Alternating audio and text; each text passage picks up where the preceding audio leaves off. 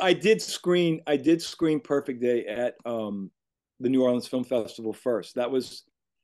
See, that's the the the, the the weird thing is is we were all kind of just going all right well we're acting out here getting parts but we're you know i mean i'm sorry most of the parts that we get are just not as interesting as the stuff that we've done uh, on on stage i agree and, i agree and, and certainly not as interesting as what we can write you know like when eddie started writing that that was mm-hmm. always my thing is i had seen and if still to this day, I've seen the best acting I've ever seen, most interesting acting in acting classes.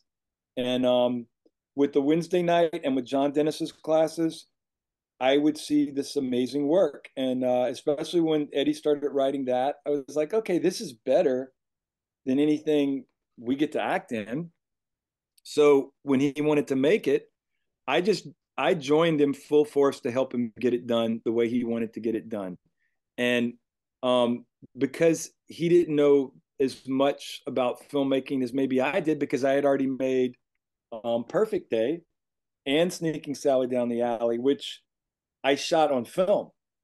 It was before digital, you know, so we shot that on 16 millimeter, um, which was made it even harder to to make your own movie because you had to shoot it on film, get it developed, have it imported into a computer, so that you could edit it and then you had to know people that had all this stuff.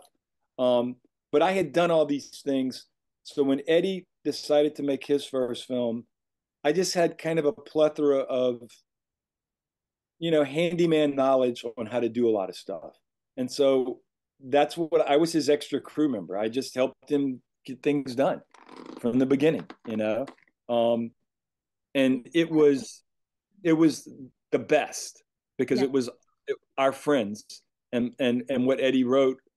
Um, and then Sean Richardson came in and just knew how to shoot it, you know, and he he was he had his own um, he had his own artistic vision that he brought to it that was just bumped it up another level. I think.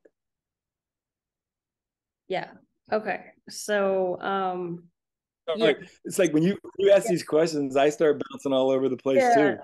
No, that's that's that's awesome. Um, I actually, um, you mentioned something in there, but I kind of I kind of forgot it. Maybe it'll come back. Um, so, okay, let's talk about Augie. Okay, because I remember um, in one of the videos, I think it's the behind the scenes one on your Vimeo page.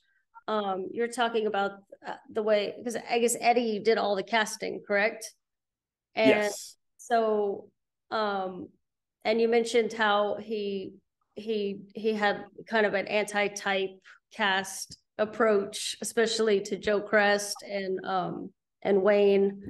Um, but you did talk about um your role. Um, like how do you fit in? I'd like, would you say would you say that was uh, a typecast or anti-type?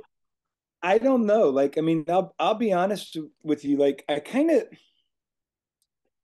I don't think in the beginning that I was even in it as an actor. Like I don't even know if Augie was a role, or I'll put it to you this way: Augie was there, but I had worked with um, Eddie on all these scenes, like in acting class. I had helped him. I'd given him notes, and we had different actors reading the parts, uh, guys from out here, and um, I didn't even remember. Like he uh, he offered me the role of Augie, and I was like, "Who's Augie?"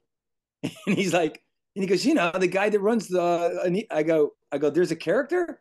Like I didn't even remember there being a guy, because you have to admit, if you look at it, it's a very tiny role. Very I mean, subtle. yeah. He yeah. speaks a few times, but uh, he's there. But you know, if you're reading the script, he, he doesn't jump off the page at all. True. Um, yeah. So in the day, I always thought Eddie was just like, like you know, he needed somebody to do it, or or he was throwing me a bone, like here's something, you know. Um, he, I, he felt bad because we did all this, you know, we had worked on it so much, and and everybody else was in it. But what was interesting to me about Augie was I didn't have to do um, any serious work other than just be there with those guys while we were making the film.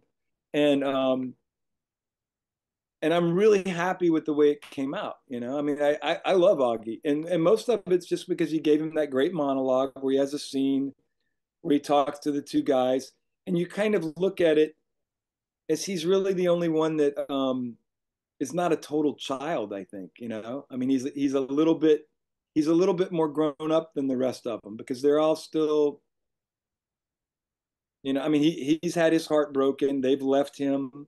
I mean, his, his he's had his uh, many run-ins with women, and I think he's sort of when you find that movie starts, he's just as as you were talking to me about something that might be a through line. He's a lost man, you know, and so he just he's got this diner that he gets up every morning and he runs. But if you think about it, it's a it's a pretty uh, it's a pretty bust out diner, man. I mean, because you've got you got those four cats coming to the diner and you don't really have anybody else which i think is cool that you don't really notice it while you're watching the movie but that's who you that's that's who you see in that diner the uh, the four main characters and then finally uh laura's character comes it, yeah. it doesn't it doesn't feel that empty but because the way they they they fill it up you know yeah he he kind of Augie kind of takes himself out of it out of the he takes himself out of the drama. He he with you know like he talks about how he withholds.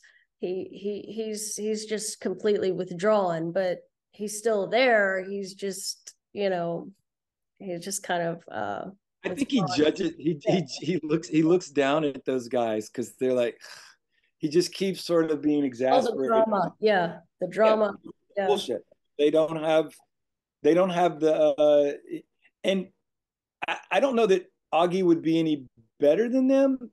Uh, he, I don't know. He just seems a little bit more grown up than them. Like I said, like he just seems a little bit past where they are in the moment of the film. You know?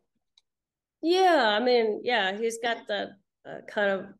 I guess he there's a emotional maturity there because he's not he's he doesn't get sucked into the drama. So, yeah. Um. So Anita's Grill, um, that that is a good segue into the the filming locations, which is another interesting thing. I guess um, you guys really didn't have to pay anything to to film. You know, I mean, you talked about you actually shot there for free. Like, yeah, we shot there for free. We we shot at LSU Stadium in the oh, yeah. in the bathroom for free. Um, but a lot of that, like one of the things is it's Eddie.